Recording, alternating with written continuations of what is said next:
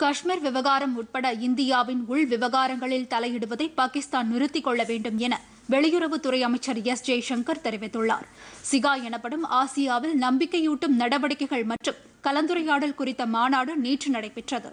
இருபத்தி ஏழு நாடுகளை உறுப்பினராக கொண்ட இந்த மாநாட்டில் இந்தியாவின் சார்பில் வெளியுறவுத்துறை அமைச்சர் ஜெய்சங்கர் காணொலி காட்சி வாயிலாக பங்கேற்றார்.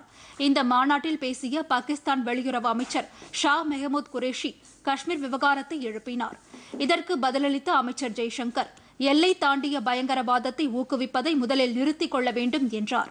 காஷ்மீர் குறித்த பாகிஸ்தானின் செயல்பாடுகள் இந்தியாவின் இறையாண்மை பிராந்திய ஒருமைப்பாடு மற்றும் உள்நாட்டு விவகாரங்களில் தலையிடுவதாக உள்ளது என்று குறிப்பிட்ட அவர் ஆயிரத்து தொள்ளாயிரத்து தொன்னூற்று ஒன்பதாம் ஆண்டில் வகுக்கப்பட்ட சிகா உறுப்பு நாடுகளுக்கு இடையேயான உறவு பற்றிய கொள்கைகளுக்கு முரணாக உள்ளது என்றும் அவர் குறிப்பிட்டார்.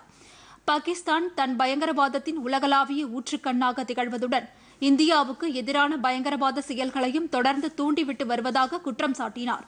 தீவிரவாதிகளுக்கு நிதியுதவி அளித்து ஆதரவு வழங்குவதை நிறுத்திக் கொள்ள வேண்டும் எனவும் இந்தியாவின் சார்பில் வலியுறுத்தப்பட்டது.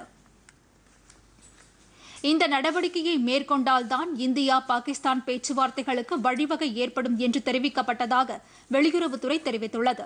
மேலும் ஆப்கானிஸ்தான் நாட்டின் இறையாண்மை மற்றும் பிராந்திய ஒருமைப்பாட்டுக்கு உட்பட்டு ஜனநாயகத்தை பாதுகாக்கக்கூடிய அமைதி நடவடிக்கைகளுக்கு இந்தியா எப்போதும் ஆதரவளிக்கும் என்றும் ஜெய்சங்கர் உறுதிப்படுத்தினார்.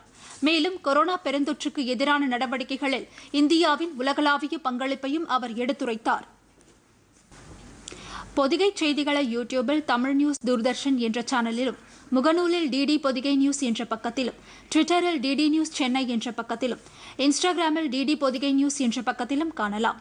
மேலும் உங்கள் கருத்துக்களை Podhigai DD news at Gmail dot com என்ற மின்னஞ்சலில் தெரிவிக்கலாம்.